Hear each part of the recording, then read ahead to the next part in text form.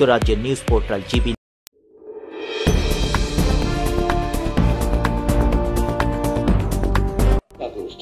জাতীয় শোক দিবস উপলক্ষে ইস্ট লন্ডনের একটি হলে বঙ্গবন্ধু সাংস্কৃতিক জোট যুক্তরাজ্য শাখার উদ্যোগে আলোচনা সভা ও সাংস্কৃতিক অনুষ্ঠানের আয়োজন করা হয়। সভায় সভাপতিত্ব করেন কাউন্সিলর জনাব মোহাম্মদ আব্দুল আজিজ তকি। মুজিবুর রহমান জসিমের পরিচালনায় উক্ত সভায় বক্তব্য রাখেন একুশের পদকপ্রাপ্ত রবীন্দ্রসঙ্গীত শিল্পী বীর মুক্তিযোদ্ধা বাবু doctor Arup Ratan Chowdhury.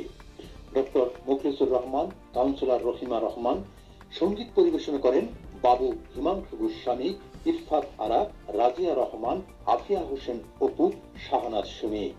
কবিতা আবৃত্তি করেন Urmi Mazhar, Mohammad Abdur Rauf Nazrul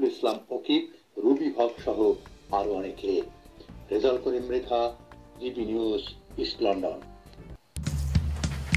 Please visit www.gbnewssolutivo.com যুক্তরাজ্যের news portal GB news twenty four dot com অনলাইনে বিশ্বকে সংযুক্ত করছে আপনার। সঙ্গে